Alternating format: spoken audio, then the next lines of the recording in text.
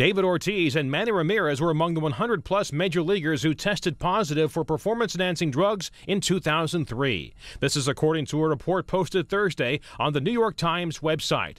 The report cites lawyers involved in a pending litigation over the testing results who spoke anonymously because the information is under seal by a court order.